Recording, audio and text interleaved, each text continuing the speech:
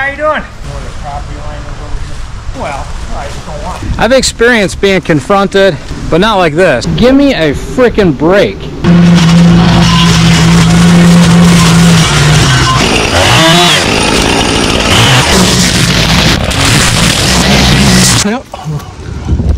All right.